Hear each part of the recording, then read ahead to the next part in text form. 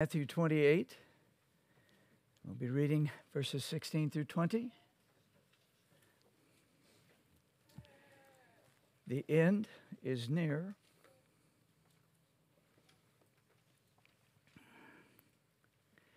Going to read verses 16 through 20.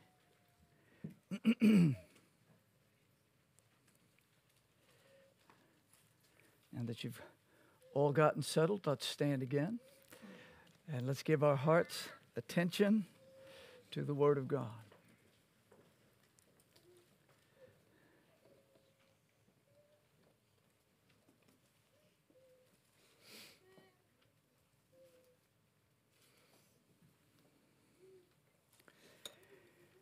Matthew 28, verse 16.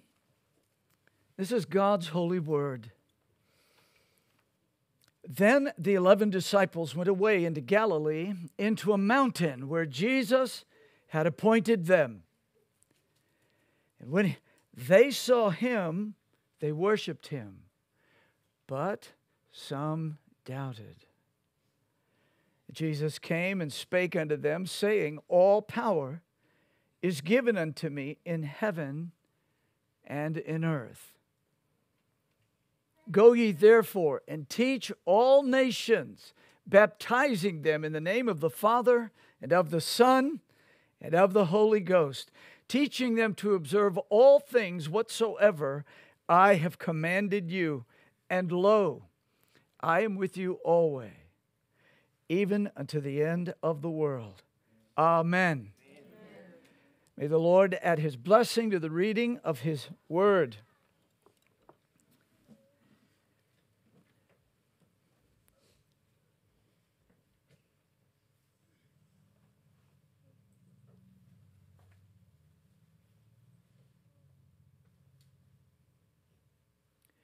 We come to thee, Almighty God,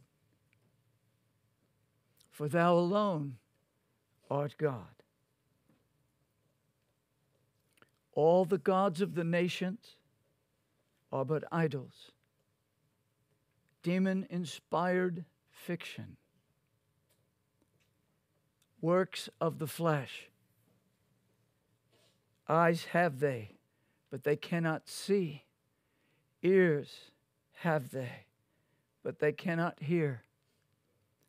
Those that make them and those that worship them are like them. O Christ, thou didst purpose to shatter that darkness by sending thy apostles into the world and by sending us to our homes, our neighborhoods, our cities, our nation, to other nations Thou didst purpose for the one true living God to be made manifest to the world, that the day might come, and is a day closer, when all the nations of this world will bow to Jesus Christ, the King of Kings. Oh, dear God,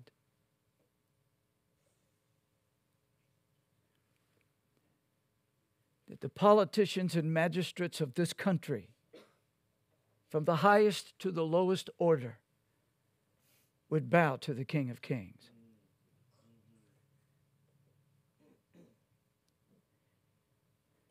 Almighty and righteous God, we stand before Thee, weak and feeble vessels, limited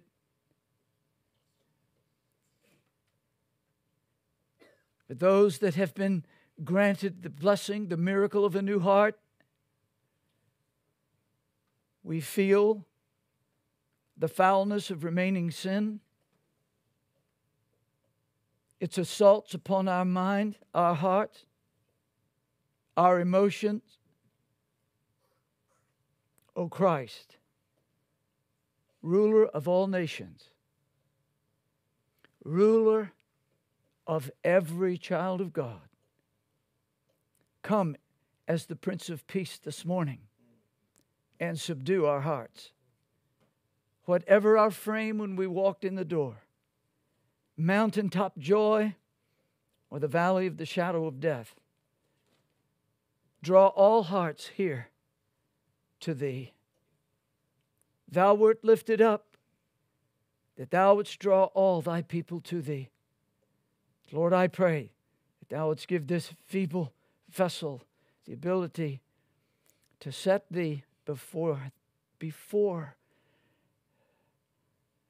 the hungry hearts of the saved and the darkened and enslaved hearts of the lost. And that all of us would be drawn by the great magnet of thy love to magnify thee, to glorify thee, to worship and adore thee. O Christ, O fountain of life, make thy presence known this morning. Convict of sin, grant repentance, fill with joy unspeakable and full of glory.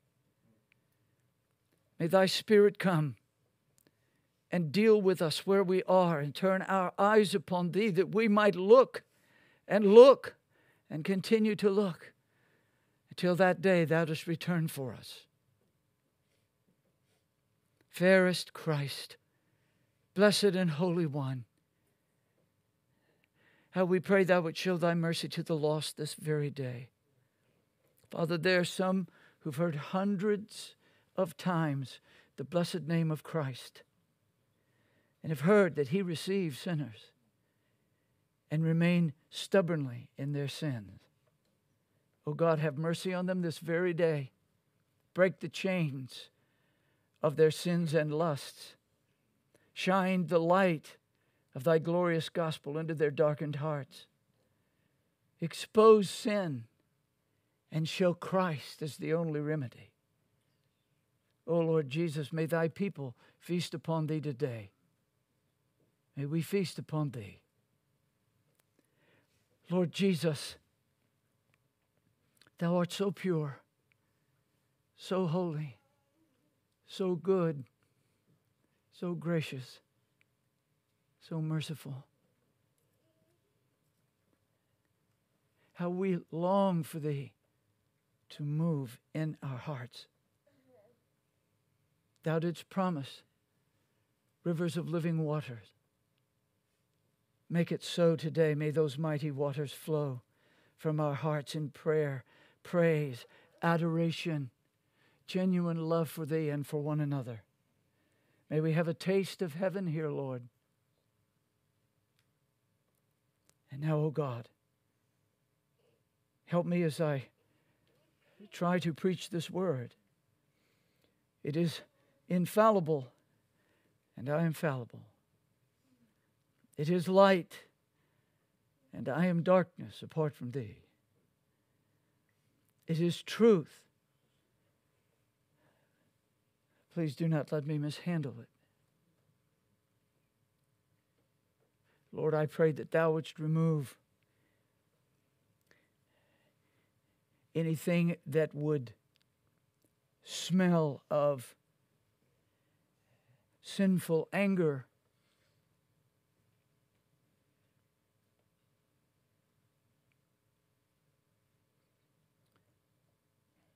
Fleshly harshness.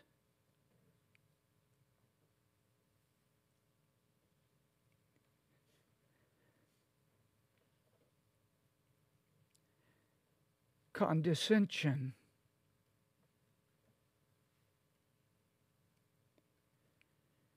And help me to preach Christ. In thy name, O blessed Savior, meet with us now. Amen. Amen. Please be seated.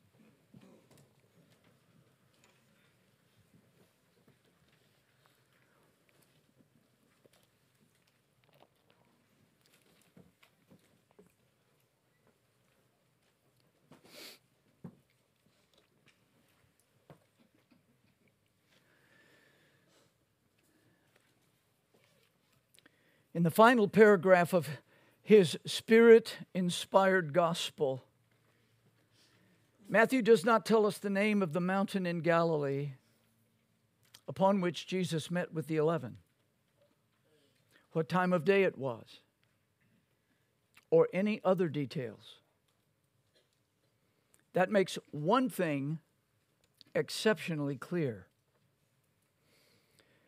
The Holy Spirit is focusing our attention on Jesus and his message. That's all that matters.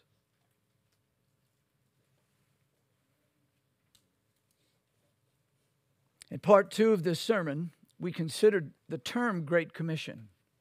The word great is a word of comparison.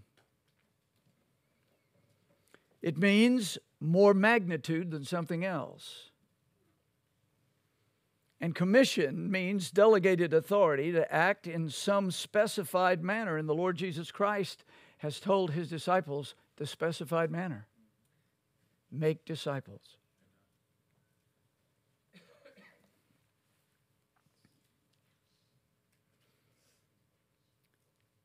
The Great Commission, therefore, is great because it comes from the greatest authority in the universe. It is startling in its worldwide scope.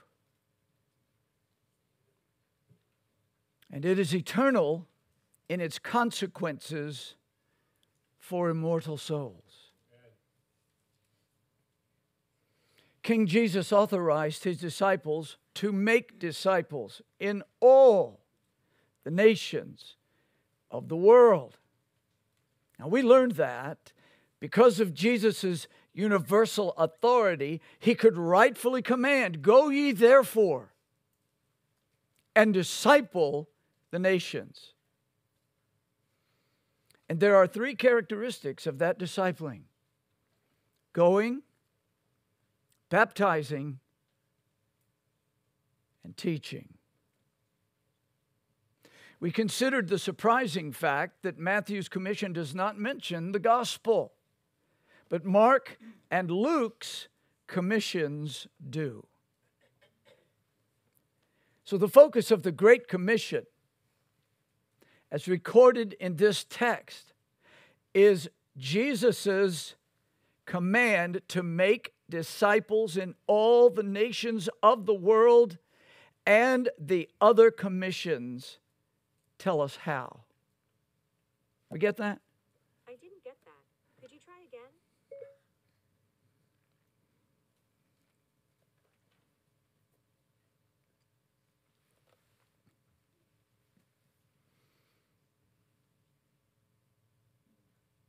The Great Commission is not about decisions. The Great Commission is about disciples. That's two different projects. If we don't understand that, we're not understanding the scriptures well, and we are believing the nonsense that come out of many pulpits.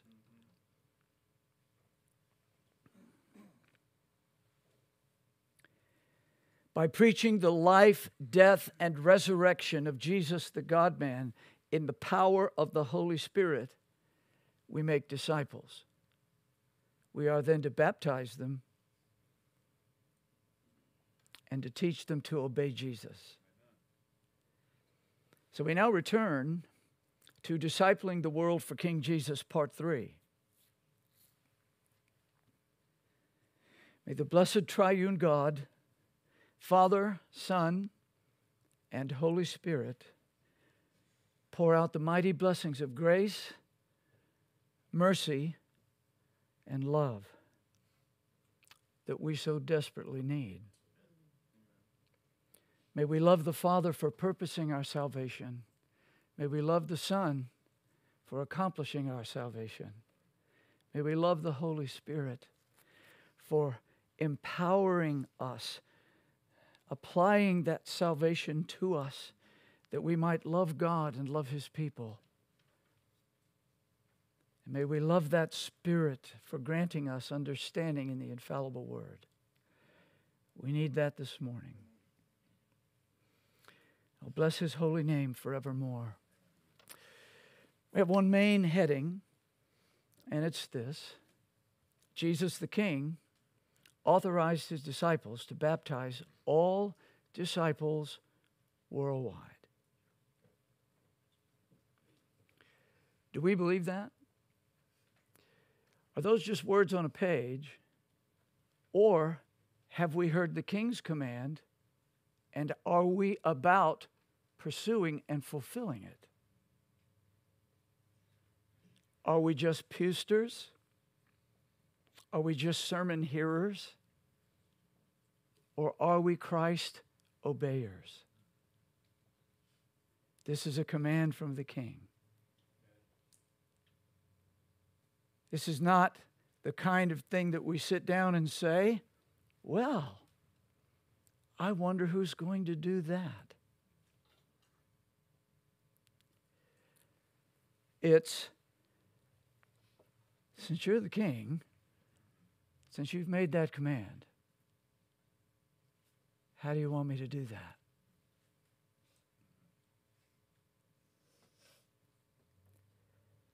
Not only were the 11 disciples to disciple the nations, they were to set those disciples apart from everyone else in the world.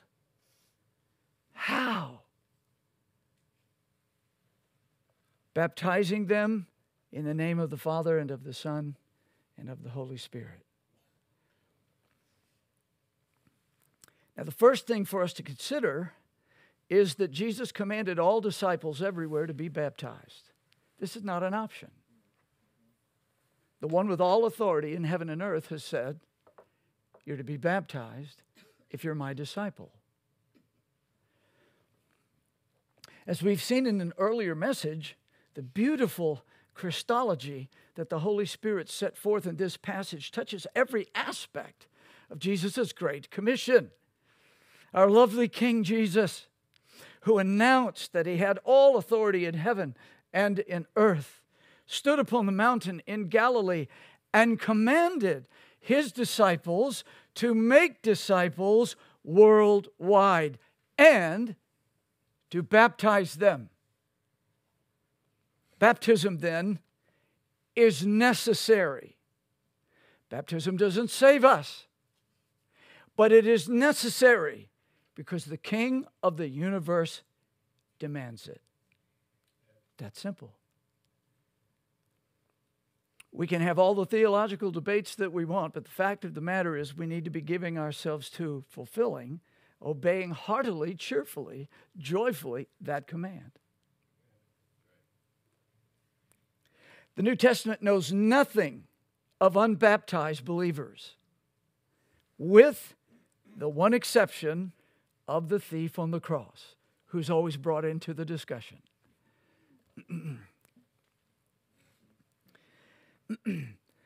he at least proves to us that we're not saved by baptism. He was with Christ that day in paradise. Now, what was Jesus commanding his disciples and us to do? When he says, baptizing them in the name of the Father and the Son and of the Holy Ghost, what is it exactly that he's commanding us to do? That should be easy for most of us to answer, though it, it might not be. We hope to dispel anything unclear in your thinking about that.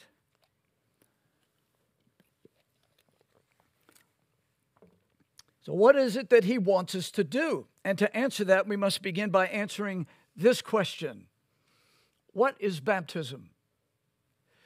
In our day, that is not an easily answered question.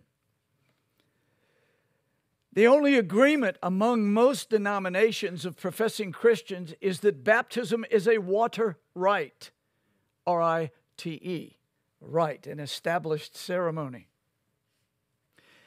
Yet, Salvation Army and Quakers do not believe in water baptism. They teach that the passages addressing baptism are about spirit baptism. Well, they have an argument. The very fact of the matter is, a number of places that speak of our being baptized with careful study do yield the idea that it is the spirit baptism spoken of in 1 Corinthians chapter 12. We are all baptized into one body by the Spirit.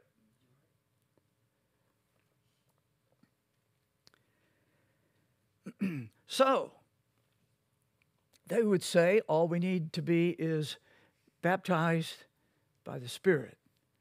That's the only requirement that we have from Christ here. So we go all the way from um, water baptism to a combination to spirit baptism. What is it that Jesus was commanding? of course, I stand uh, with those who would say that it is a water rite that he has commanded us to take part in. But the chasm of disagreement among prof, uh, professing Christians is wide. It, it's very much like the Lord's Supper. It's hard to find groups that agree on virtually any aspect of the ordinances Christ has given to his church. It does make sense to us, does it not, that Satan would do everything he can to destroy the worship of Christ, destroy the means of grace by which his people engage him and bring him glory. So this is not a little matter. I hear Christians all the time saying, ah, well, you know, we're not saved by baptism. It's not a big deal. When the King of the universe commands that it be done, I would say it's a misreading of the text to say it's not a big deal. Who should be baptized? Depends on who you ask. When should baptism be administered? Depends on who you ask. What is the mode of baptism? A mode, children, is how you do something. How you do something. Those questions must be answered. Now, as we enter a brief discussion of the ordinance of baptism, so that we might be clear on what our King is commanding, we must first consider two terms. Two terms credo baptism and pedo baptism. That's on your outline, so you don't have to scribble in a hurry. I want you to stay paying attention credo baptism and pedo baptism. The debates between credo Baptist and pedo Baptist are many, ancient, complex, and far too often hostile. We do not presently have time to unravel all the arguments that have developed over the centuries. And anybody that thinks this is a simple matter hasn't engaged the arguments. However, the term credo in Credo Baptist is from the Latin, I believe. Therefore, credo baptism means believers' baptism. We are credo Baptists. We believe that the infallible Word of God teaches the baptism of disciples only. In other words, believers' baptism is the practice of immersing disciples in water, which we might call more accurately believer immersion. We believe in believer immersion. A few credo Baptists pour water on the believer. Uh, we think they're wrong, but we have to acknowledge their practice.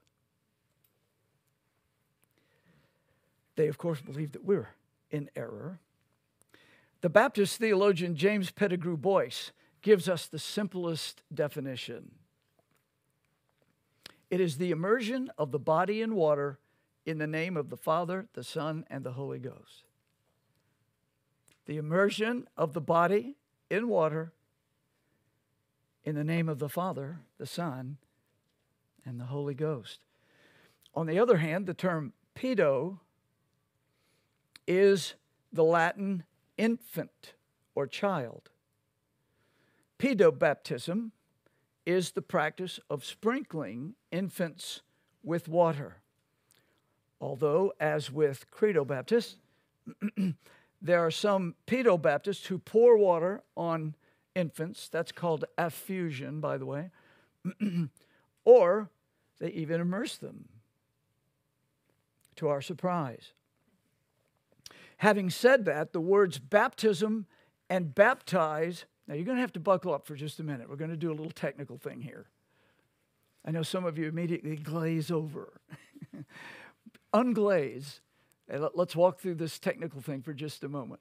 If you'll stay with me, I think you'll find it profitable. I try not to do this often.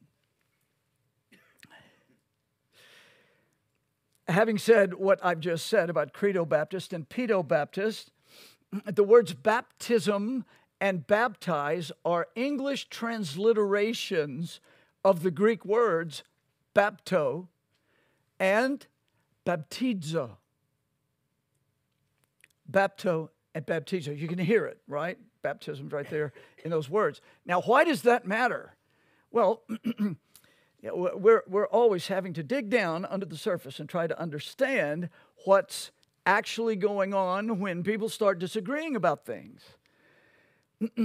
Baptism and baptize are English transliteration of the Greek words. Now, the difference between a transliteration and a translation is this. To try to make this as simple as I can, which might make it awful, but I'm going to do my best. And the idea here is that when we come from a, an original, a resource language into another language. When we're translating, we're taking the idea here, we're taking the word and the idea, and we're coming over into a receptor language. And we're, we're trying to find in our language what words are equivalent to this that carry the same sense. Okay? A translation, for instance, would be the word bread. In French, it's pain. You've got to have a good nasal passage to say that well. Pain. All right? Pain and bread don't sound the same. Pain is the French word for it, bread is the English word for it. Right? So we translate one into the other because it carries the sense. That's translation. All right? The fact is, not all languages have equivalents in the other language. Right? Sometimes uh, we really have to stretch. When I was a, a child, and I, I had a Saturday morning uh, show that I used to watch uh, uh fervently every week. And in between times, in Lafayette of those days, uh, you would hear people speaking, speaking Cajun French all the time. And um, so I grew up hearing Cajun French and there would always be a car advertisement. And he'd be rolling along in his Cajun French. I didn't understand any of the words until he'd come right along to just about the end of the advertisement and then say, air condition, white wall tire. I'd say, I got it. I, well, I know that part. I, I, I know what air conditioning is. Uh-huh. All right. they didn't have exactly a term for that at that time. So they would just go over and use the English. All right? Now, I have to bring up now a, a, a, a principle, and you need, to, you need to recognize this because every, every language uh, does not have exactly the same kinds of ideas, idioms, the way they structure the sentences. all translation is interpretation. That's hard for us to get a hold of. Some of us that have been in the battles for the, the Bible translations have to realize the reality of it. Sometimes there just simply aren't in some languages an equivalent uh, equivalent expression. I, I learned this in with great power when I was preaching in South America. I was preaching along, and, and the brother that was interpreting for me, man, I mean, he was getting into it, he was preaching it. And I'd preach, and he'd preach, and I'd preach, and he'd preach, and I'd preach. And then he, he stopped and he looked at some of the uh, older brothers uh, and older pastors that were sitting in the front row, and he said, um, how do I say that? How, how, would, how would we say that? And they all looked at each other and talked for a few minutes, and, and they gave him something that came close to an equivalent. I mean, we all think that, oh, all the languages out there are just English with different spelling. right? And, and all of their languages uh, are, uh, you know, they, we've all got a word for word. You know, by the way, most of the time when you're hearing these companies selling you Bibles and saying it's word for word, it's like, no, it's just reaching into your pocket. Because I mean, all, all, all translation is interpretation. Transliteration is different. Transliteration is reaching into the original language and putting uh, English letters to it and just bringing it over into English. You're not translating anything. You're taking that word and you're putting English letters with it. There are a number of reasons for doing transliterations. But that's exactly what the translators of the authorized version did. They were Anglicans and Puritans. There was not one Baptist among them. It's an interesting part of history that most of the people that, that tend to defend the authorized version today are Baptist, all of which were despised by the Anglicans in those days. They didn't translate that Bible quote for us. And very often we misread them because we're not Anglicans or Puritans. That's a fact. Now, what we're, what we're doing here is we're coming down to this idea of baptism. If you're following me, these Anglican and Puritan scholars, and they were world class, they were world class scholars in those days. They all practiced infant sprinkling, every one of them but they were also honest. They knew that baptizo means immerse, to plunge, to wash, to immerse, plunge under, dip. They knew that. They knew that baptizo was not rantizo, which means sprinkle. So they couldn't, with a good conscience, say, um, when Jesus sprinkled or when John the Baptist sprinkled, or they couldn't say that. So they transliterated it. They just took the word that means immerse and brought it over into the English language, transliterating it, just putting English letters to it. B A P T I. Okay? Are you with me on that? Is that? Okay. If you understand that, it's one of the reasons that we have debates about baptism. The word itself means immerse. In fact, there have been translations of the Bible that have uh, laid aside the transliteration and, and put dip or immersion in every one of those places. That's what it means. But when you take it and transliterate it, you can make it a theological football. Mm, right? You can do that. You can, you can say what you want to say about the word because it becomes a theological term rather than just the word that's in the text. Now, some of our, our, our Pedo Baptist friends would be screaming at this moment and, and saying that I'm simplifying this too much. And that's what happens when you try to simplify things. These are big discussions. They are long discussions. They are wearying debates. And as I said, sometimes they're hostile. You don't want to be hostile in any of this. so, the translators, the good Anglican and Puritan infant sprinklers carried the word over and transliterated it. So,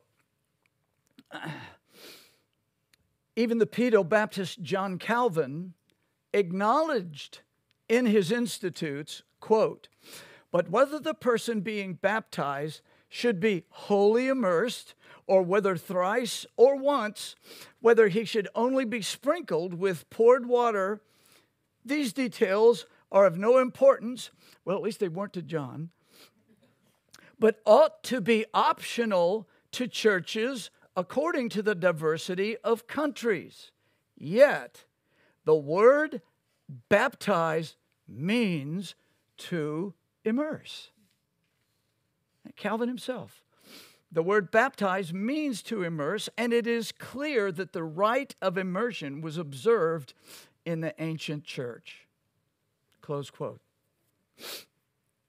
I appreciate that kind of honesty in a theologian.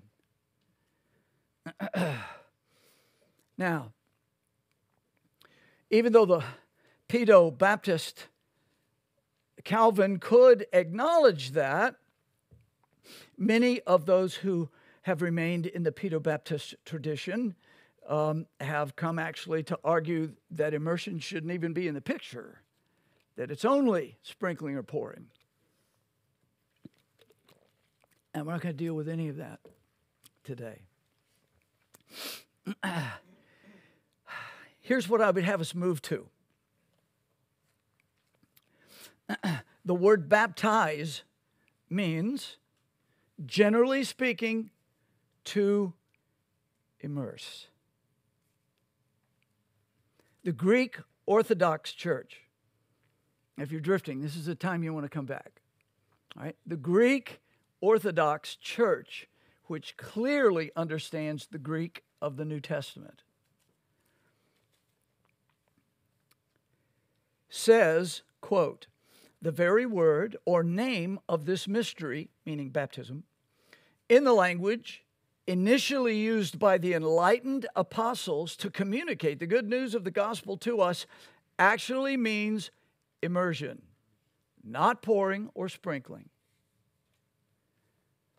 Close quote.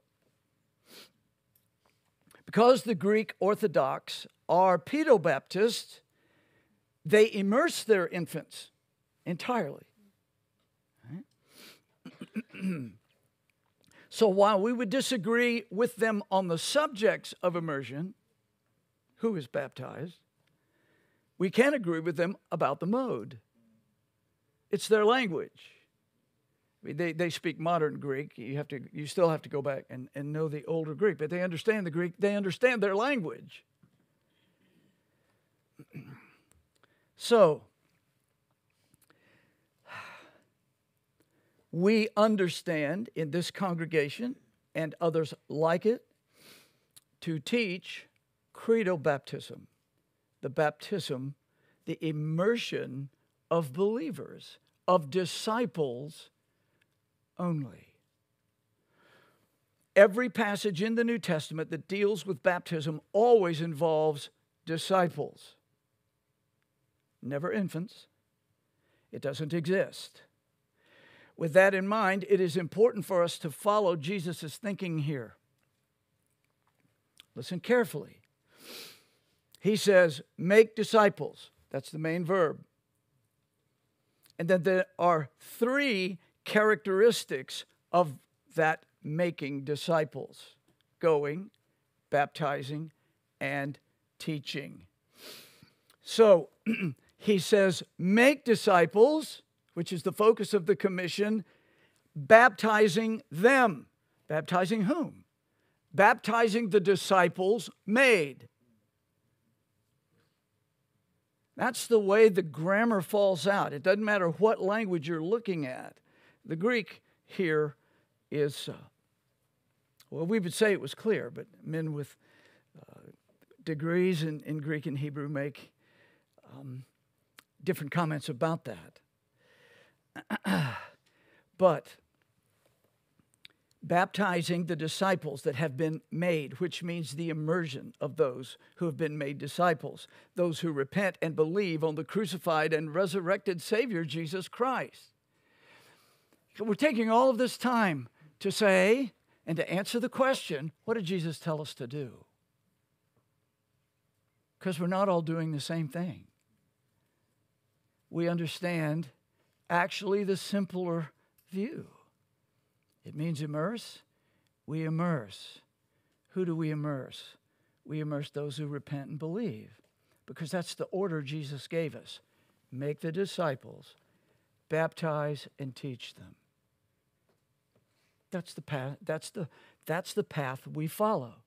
We find it arising directly from the text, even when in the English we have a transliterated word. So, by the way, in, this very same discussion, we'll move from the technical in just a moment. For this very reason, the, the, uh, the uh, authorized version translators translated the verb disciple with the verb teach. This is not the Greek word for teach. Why in the world did our Anglican and Puritan brethren put teach when the verb is, look it up, disciple? Why did they do that? Because all, all translation is interpretation. They were looking at this notion of a word that can be a, a, a verb, disciple somebody, or a noun, he is a disciple. They looked at it and they realized that how is it that we disciple? How do we make disciples? We teach them the gospel. That's not word for word, but it grasps the idea. Do, you see that? I don't want to lose you. Okay.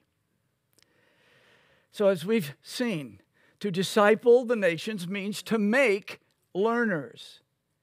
And not only are we to make learners, we are then to baptize them. We're to mark them out as learners of Jesus Christ, about Jesus Christ, for Jesus Christ. Sinners are not made disciples by baptism, which is what some teach.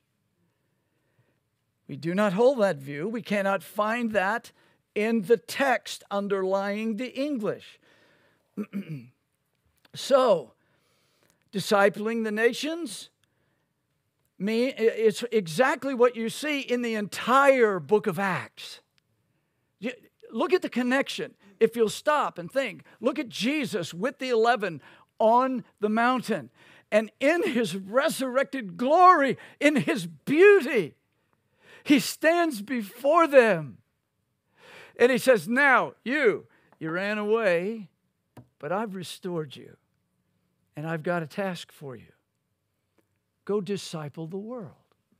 Go make disciples. I've discipled you.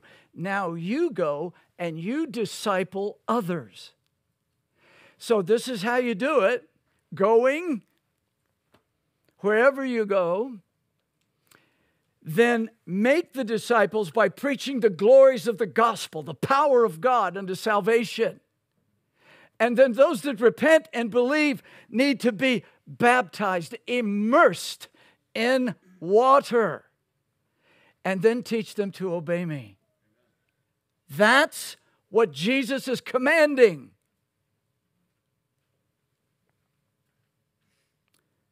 That's what he's commanding. This is how the world was conquered for Jesus in the days of the apostles. Just look at the Acts and read it. If you read Matthew 28 over and over and over, this part, read the commission in Luke, read the commission in Mark, read the commission in John, and then read the book of Acts, and you will see the men that he commissioned going out and doing precisely what he's saying right here. They went and made disciples preaching the glories of the crucified and resurrected Christ. Then they baptize those who profess repentance and faith in the Lord Jesus Christ. And then, generally speaking, there are a few exceptions, they stayed with them and they made communities called churches. That's what missions are about.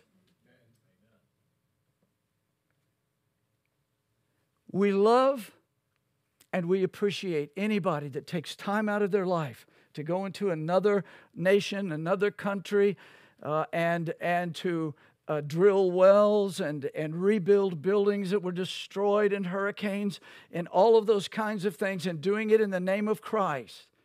That's wonderful work. That's wonderful Christian work. It's not what Jesus is talking about here. If that work doesn't open the door to preach the gospel and make disciples, it's not a mission in the sense that it's being spoken of here. Okay, uh, uh, I'm not trying to attack anybody, not trying to attack anybody's desire to help. Christians, of course, want to help. Wonderful. Man, go as often as you can. Take doctors, fix up bodies, go around the nation and do good. Go around the world and do good in the name of the Lord Jesus Christ. But what Jesus is commissioning is making disciples. If you're going to rebuild somebody's house as a way to sit down and tell them about the Lord Jesus Christ, yeah, yeah, go.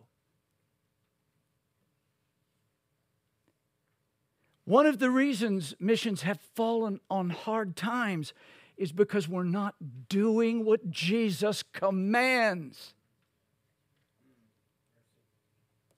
What you see throughout the book of Acts, especially with Paul and Peter, is going and preaching the gospel and taking the disciples and beginning to teach them about what it means to walk under King Jesus.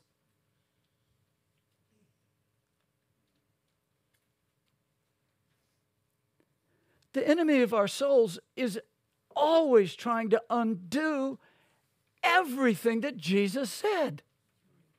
Every action, every motion, everything that he said. If, if he cannot destroy our testimony, he'll do everything he can to befoul our doctrine. You're in a battle. Do you know what your king is commanding you to do? That's powerful, isn't it? I've given myself to work sometimes and worked myself to the bone, found out I was doing the wrong thing. That's not encouraging. I don't want to do that from a pulpit. Jesus is commanding us some very specific things here. And the traditions of men, misunderstandings, the attacks of the enemy. There are all kinds of reasons why there's so much confusion about everything that Christ has said. But it behooves us to get down and dig in it. Young people, I can't press you enough. You're not married yet. Your time to study is going to evaporate. Wake up and realize what you need to be doing with your time right now is learning your Christ, learning who He is, learning how to defend His faith walking with Him, understanding what He's commanded, so that when you're husbands and wives, you can actually disciple them when you have children. Don't waste your time. Don't waste your time. God help us, especially in the day we're living in. We need an army of people that can say, I know who Jesus is. I know what he's done to save sinners. And I know what he wants me to do. I know what he wants me to be as a man. I know what he wants me to be as a woman. I mean, the most fundamental things in our lives are being completely destroyed in front of us. We need to get down and make sure we're understanding what we're being commanded to do. Go and disciple the nations. Disciple. We'll go further in that in just a few moments, but make disciples. And then what do you see Paul doing? Forming them into churches, appointing elders. Why? That's God's purpose in Christ. I will build my church. That's how he takes over the nations of the world. Do you not understand that? That's the king advancing. That's the one on the white horse with the sword coming out of his mouth. He's going out to conquer, conquering and conquer. What? The darkness.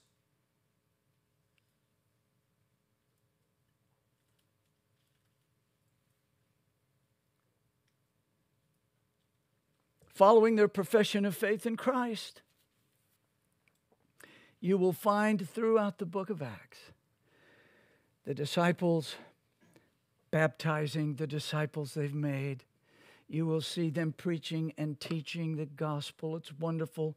I mean, it's just, it will renew your understanding when you read the book of Acts through Matthew 28. You will see faithful men believing and uh, obeying the Lord Jesus Christ.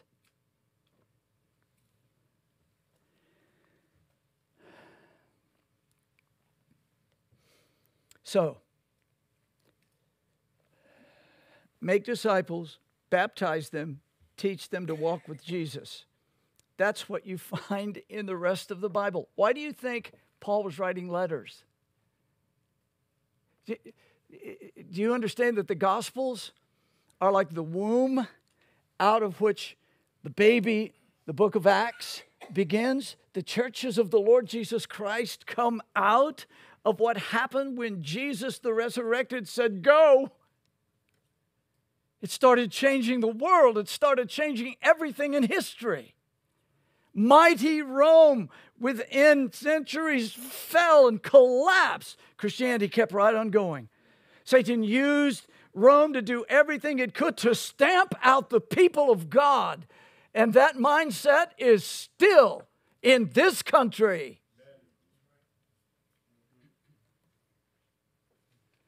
But we go because we love our enemies, because we don't want them to burn in hell forever. We want to tell them the glories of His saving Christ. We baptize them and teach them to walk with Jesus. We don't just get some marks on our belt. Yeah, man, you know, 40,000 people have come to Christ because of me. You know, I mean, I've had enough of that kind of religion. Can you find any of them? Do you know where any of them are? Are they walking with Jesus?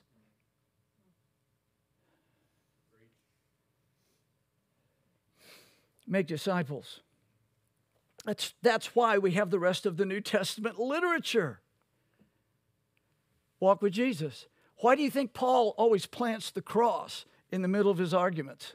Why do you think he's constantly pointing to the blood of Christ? Why do you think he's constantly pointing to the glory of Jesus Christ? He's building the church. He's building the church that Jesus founded.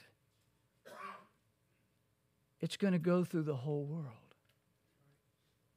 whether we get up and go or not.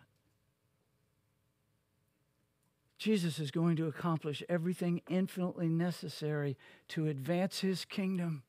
And then in the day of judgment, when he ushers in the glory and the beauty of eternity, we'll see that sometimes our most feeble efforts in trying to honor the Lord Jesus brought him glory. Were used of him in saving a soul.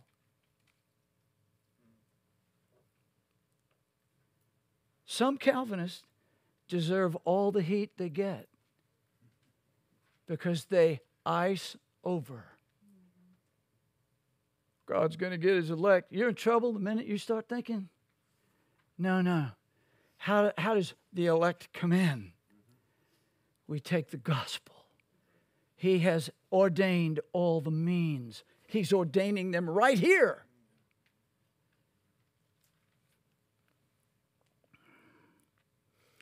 Oh, my dear friends, my brothers, my sisters, and all lost ones. Consider what do you see in John the Baptist? What did you see in John the Baptist?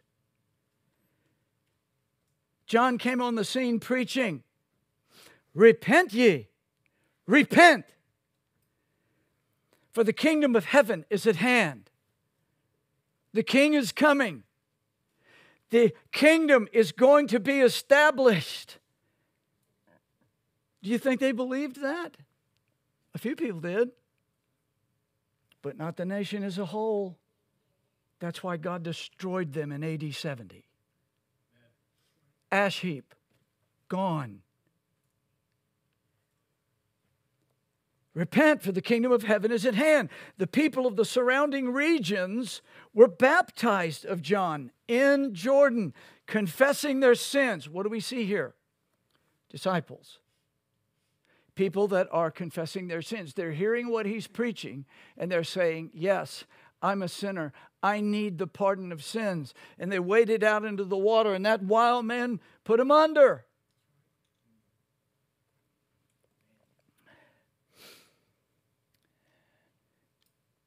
inspired. I mean, can,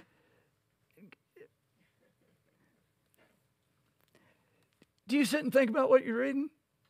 I mean, there are times when I have to get a hold of my imagination. I understand that. But do you think about it? Think about it. Think about a man out there, you know, in his skin robe, who's eating bugs and commanding everybody to repent. What would that look like in the newspaper tomorrow? I mean, hey, you want to go out and see the character who's in the Gulf? He's yelling at everybody that goes by. I mean, get real. They weren't saying, oh, what a wonderful guy. But there were some people that were hearing what he was saying. And they walked out into the water and he immersed them because they said, I'm an adulterer. I'm a liar. I'm a fornicator. I'm a thief. They're confessing their sins. Man, what would that look like in Pensacola? Mercy. I mean, he's, I mean, God gave him a hard job. But God was being faithful to what he promised. He was introducing Christ. That's what he was there to do.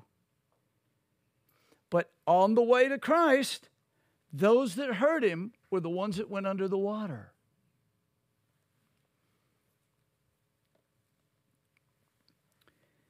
Inspired by the Holy Spirit, the Apostle Paul explained John's baptism this way.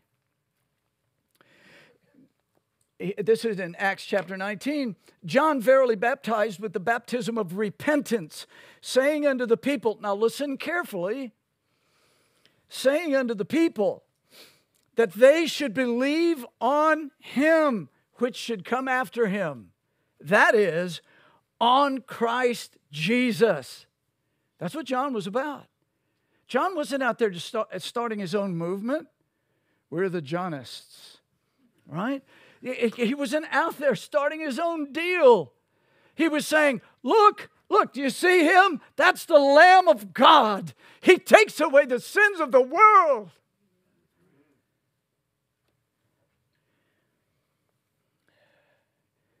And when those Ephesian disciples heard this, they were baptized in the name of Jesus. They said, okay, we didn't exactly get that, but we've got it now. Baptize us. What were they? Disciples. Nobody's bringing infants, children, babies. It's disciples. So John's disciples were commanded to repent of their sins, to be baptized, confessing their sins, and to believe on the coming Christ. And what does that imply? No infants in John's baptism. Only people who were called to repent and did. Lots of people that are called. Some of you have been sitting here for years and have been called to repent in the mercies and the grace of Jesus Christ. You've seen your pastors weep for your immortal souls, and you don't care. And some of you sit with a profession that would not break through this ceiling. And it will only be the flames of hell that will make you let go of that false religion. Christ saves. He saves. And it's because people hear the gospel and they come. And they come because they know they're sinners. And they find that Jesus is as merciful and as kind and as gracious and as merciful as he can be. He doesn't rail on them.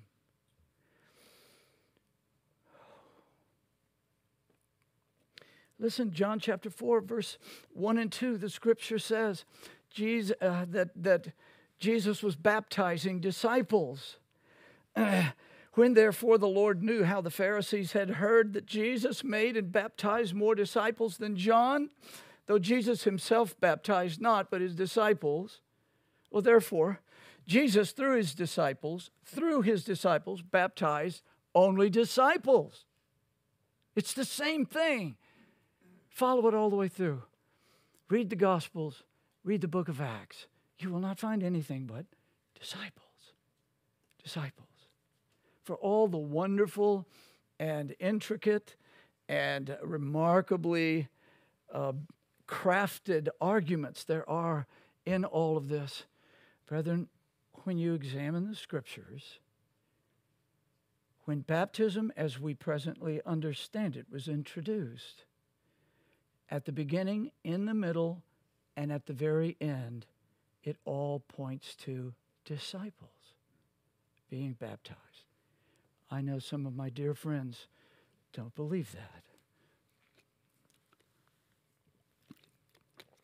And they will think I'm too hard. Now, Jesus then, through his disciples, baptized. It was the disciples. You could keep reading Jesus commanded all disciples to show to the world that they belong to the living God. Hmm. The text reveals that King Jesus commanded his disciples not only to make disciples and immerse them, but to immerse them in the name of the Father and the Son and of the Holy Ghost. Once again, the literal Greek underlying the English says, going or having traveled, therefore disciple the nations, make learners, immersing them in the name of the Father and of the Son and of the Holy Spirit. In his very helpful book, which we carry in our church bookstore. If, if you don't have this, you, you really, uh, you should.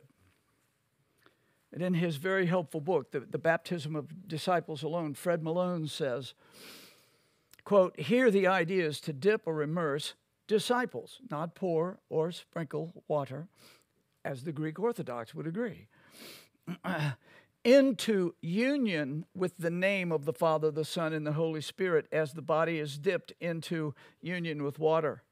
Them, not water, is the direct object of baptize baptize them disciples.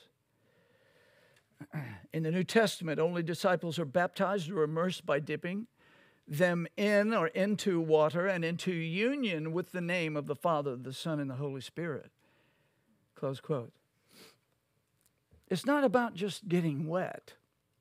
I'm afraid for, for many of us, that's it. You know, it, it's, the, it's the wet right and then it's over. You know, yeah, somebody obeyed Jesus. It's like, no, this is a holy act of worship. This is a holy act of worship where we watch someone obeying the Lord Jesus Christ. Baptism then is the believer's testimony to the world that he or she belongs to, serves, or worships the one true living God revealed in the Bible. Do you realize that what you're saying? I always try to help everybody. I, I, I usually preach a sermon on the day that we're baptizing about baptism because I want everybody to understand look, this is not just about you know looking at your friend and cheering. If we really want to be serious about this, the only people to cheer is Christ, the Father, the Son, and the Holy Spirit. You took another one from Satan. Glory to God. Now that's what you want to rejoice about. Not just seeing your friends get wet or doing a, a religious thing that you did. Baptism is the believer's testimony to the world that you belong to God. Do you get that? Do I do I get that? Thankfully, when I was rebaptized, that's another story altogether. But when, when the Lord actually converted me, I realized that when I walked the aisle in the fifth grade, I was as lost as a Hindu and I came up out of the water. But then I, I said to my, my pastor at the time, I said, I'm realizing I have never been baptized. It's on, on the profession of my repentance and faith in the Lord Jesus. Now, there would be guys today that would say, well, you know, now just live up to your baptism, and that's fine. You know, you didn't know what you were doing then, but now you do, and so you, you have to do it. But I said, no, man, I want to go under in the name of Jesus Christ. And he put me down, and about this, about this much of my face didn't go under. And just as he started to pick me up, he realized it, and he pushed me back under. I thought I was going to drown. I was coming up for air. Boom, man, it was right back under. But the, the point, the point that I'm wanting you to get is that it was like I wanted to be immersed in the name of Jesus Christ. And I was glad that, that when he saw that I wasn't entirely under, he was like, okay, here we go again. Boom. And I went down. I went down. That was my baptism. Now, what was I saying in that baptism? I'm Christ's. He bought me. I'm His. I'm dead with Him. I'm alive with Him. We have to go just a couple more minutes. This is too important to quit right now. I don't know how I always think I don't have enough inform- uh, uh, uh, enough sermon, and I ended up with, with enough for three. You're very patient. Now, what, what I want us, I want us to think about these things. I, I, I our applications. I'm going to come back and we're going to do the applications. But, but I want you to know that first and foremost in our applications, in love for King Jesus and submission to his supreme authority, let us make disciples. That's as practical an application of what we've just been reading as we can. Let's make disciples. Let's make disciples. Now, I, I had an entire developed application to talk about the different ways we might be able to do that. So I'm going to do that next week, God willing. Right? Because everybody thinks that the, the minute someone presses their conscience in something like this, that it's like, oh, you know, he wants me to go to the North Pole. Or, he, no, I want you to go wherever God wants you. You know, you don't, you don't have to go subterranean. You don't, the, the point is, cast yourself like Paul in front of the, the, the risen Christ and say, Lord, what would you have me do? And do that. Go where He wants you to go. If He wants you to go to Russia, go to Russia. Now, our friends over in the, in, in the Far East right now are going through unbelievable times because they said, I want to go wherever Christ wants me to go. They're wondering if they're going to live. I hope with all my heart someone writes a book about them one of these days. But I'm going to tell you, brother, it's not going to be, it's not about whether it's fun. Is it holy? Is it what Christ is calling me to? Now, when we're young, especially, you know, we can think, oh, yeah, we're going to. I mean, I was in a youth group. Uh, sorry, that probably sounded condescending. Let me back that up. I was in a youth group once. And in the youth group, uh, everybody, uh, you know, we'd hear these messages, and everybody said, Yes, I'm going to be a missionary. None of them ever went. Mm-hmm. When you're young, you think those things. It's kind of romantic. I'm not talking about that. I'm talking about praying and fasting until God makes clear to you what He wants you to do. And rest assured, the enemy can send people in your life that'll do what they can to guide you in a different direction. A lot of times it comes in a pretty package. I mean, we'll talk about the various ways you can do this, whether you're at home, whether you're with your family, whether you are, you know, or whether the Lord is sending you to Russia, to Myanmar, to, to uh, China.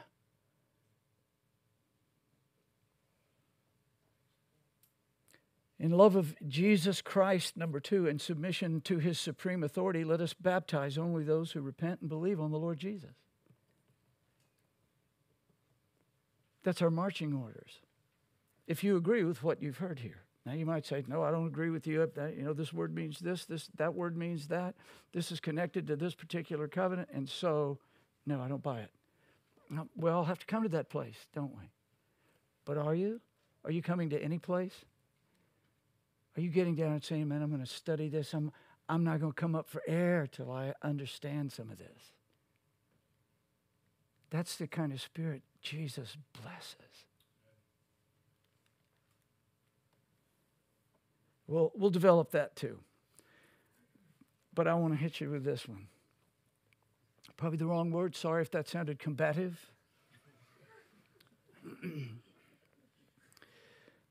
Three. In, in love for King Jesus and submission to his authority, let us by faith in our wonderful Savior live in the light of baptism's truth. Well, you're probably not as sinful and forgetful as I am. You're probably a lot nicer than I am.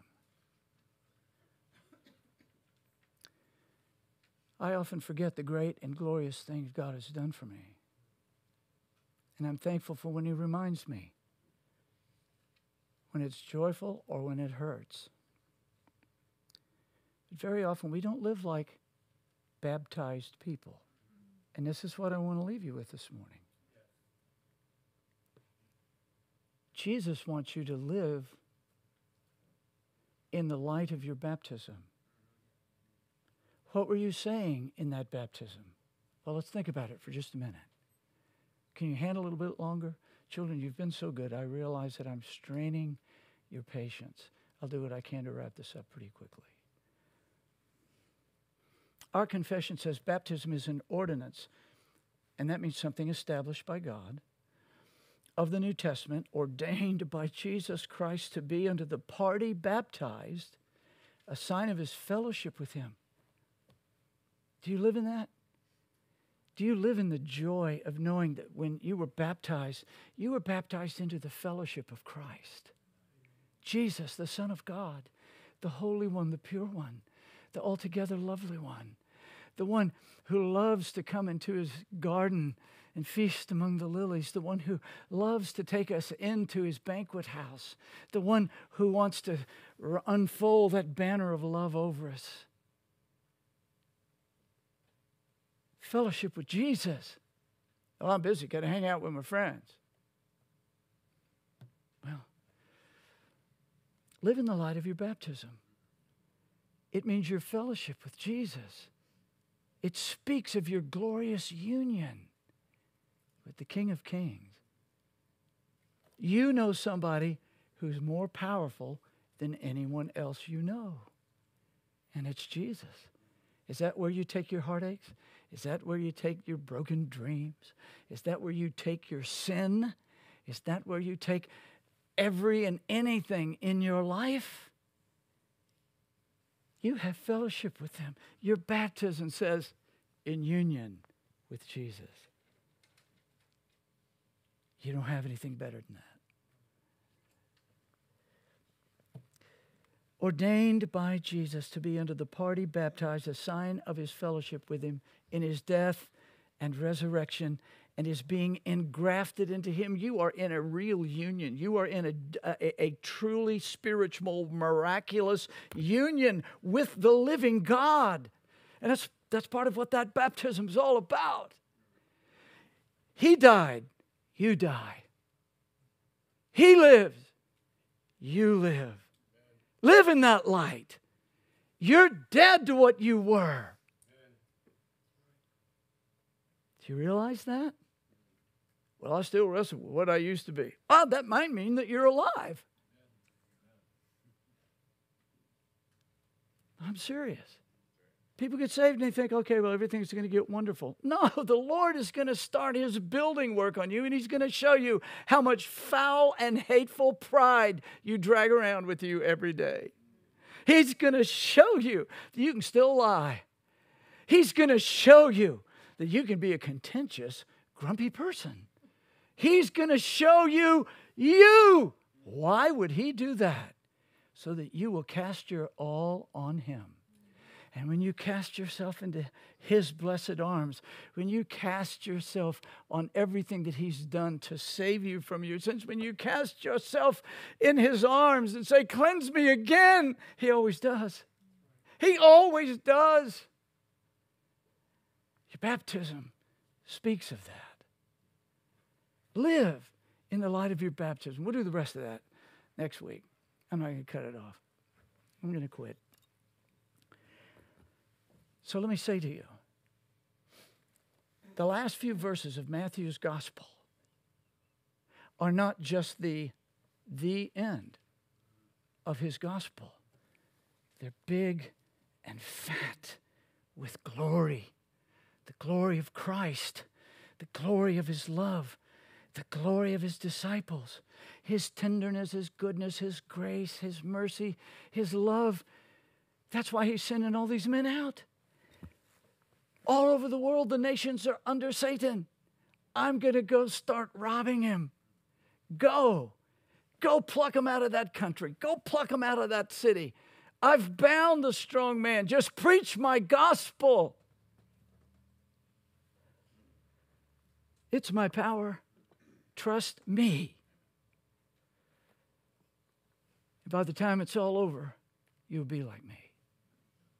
When we get to the last day, I'm the model. Now let's live in the light of our baptism.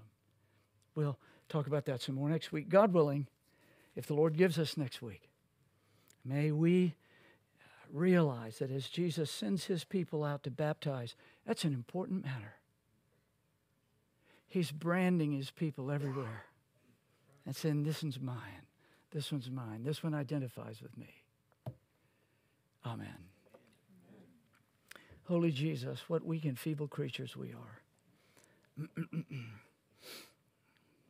Father, I do pray for all those that have heard this morning that have not kept them from hearing thy truth. Oh God, thy spirit must take these things and move them in the heart, the, the hearts of thy people. And for the lost, oh, go after them. Lord, bind them with the cords of love. Draw them to yourself. How glorious thou art. In Jesus' name, amen.